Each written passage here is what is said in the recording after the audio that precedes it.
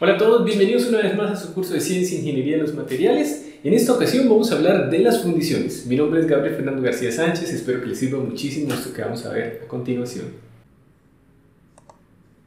Iniciemos recordando que los metales se pueden dividir en ferrosos y no ferrosos dependiendo si tienen o no al hierro como componente principal. Y dentro de los ferrosos hay dos tipos muy importantes que son aleaciones hierro-carbono, los aceros y las fundiciones.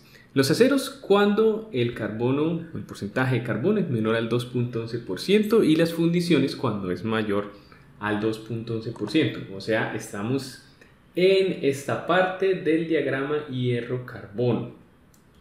De esto es de lo que vamos a hablar hoy, de las fundiciones.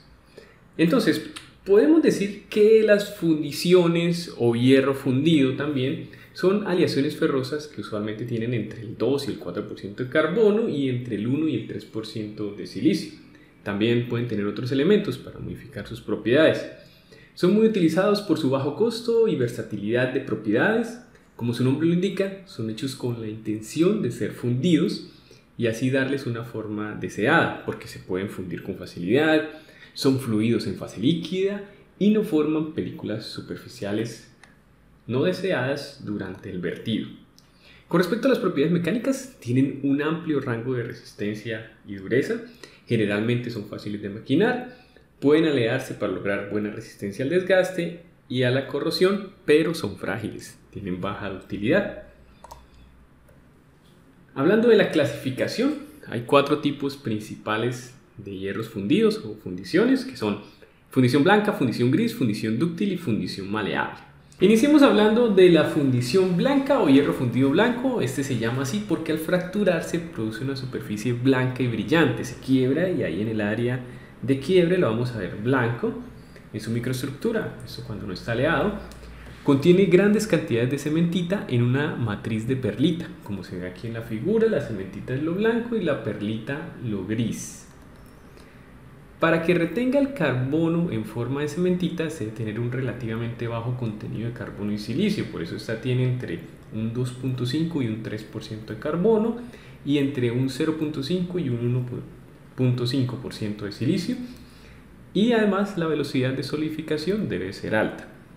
Son materiales usados por su excelente resistencia al desgaste y abrasión, que es debida a la cementita en su microestructura. También son usados como materia prima para la fabricación de fundiciones maleables. Continuamos con el hierro fundido gris. Este es un tipo de fundición que se forma cuando el carbono rebasa la cantidad que se puede disolver en la austenita y se precipita en forma de escamas de grafito. Al fracturarse, vemos que el área fracturada es de color gris, se torna grisácea. Está compuesto de forma no aleada por un 2.5 a 4 de carbono y, de un 3, 1 a 3% de silicio. La formación del grafito se forma al utilizar o se logra al utilizar un contenido relativamente alto de silicio, ya que el silicio es un estabilizador del grafito, y a partir de velocidad de enfriamiento.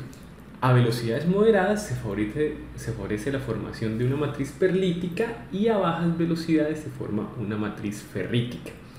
Para lograr una matriz ferrítica completa el hierro gris no aleado se somete a un recocido, de manera que el carbono remanente en la matriz se deposite en escamas de grafito.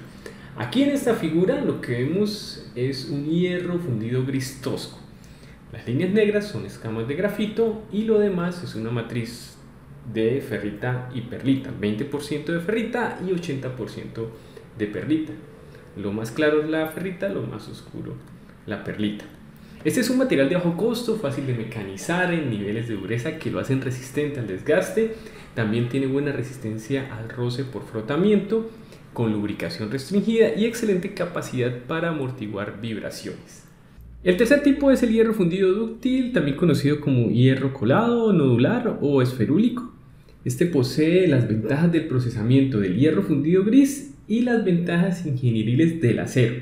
Es decir, tiene buena fluidez y moldeabilidad, excelentes cualidades para el maquinado y buena resistencia al desgaste, que son propiedades del hierro fundido gris, y al tiempo tiene alta resistencia, tenacidad, ductilidad y posibilidad de trabajo en caliente y endurecido, que son propiedades del acero.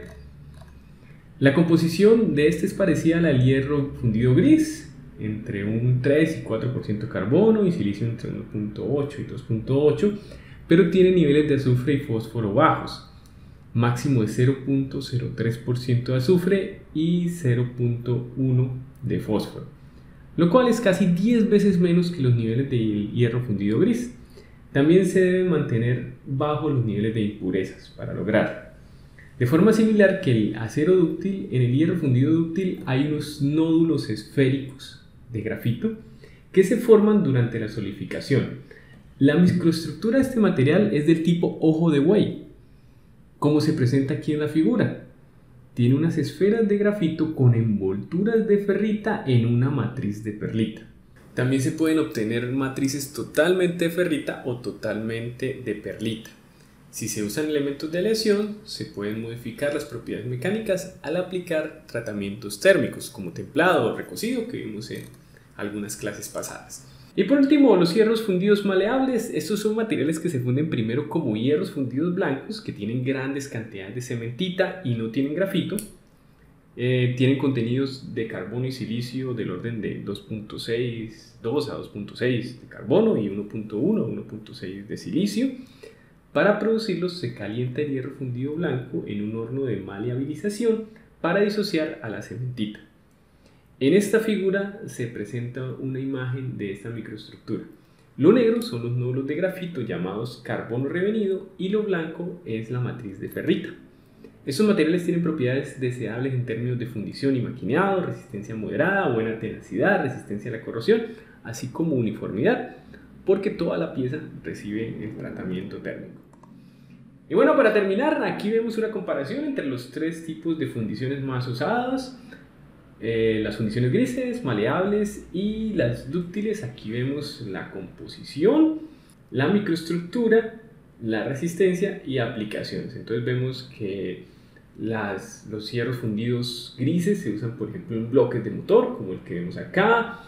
Los maleables se utilizan por ejemplo en bielas, como estos que es una biela del motor y los dúctiles en engranajes. Aquí también vemos una foto de algunos engranajes de este material. Y bueno, así terminamos con este video. Espero que les haya servido. Estas son las referencias utilizadas para hacerlo. Muchísimas gracias por su atención. Les deseo un muy buen día. Hasta pronto.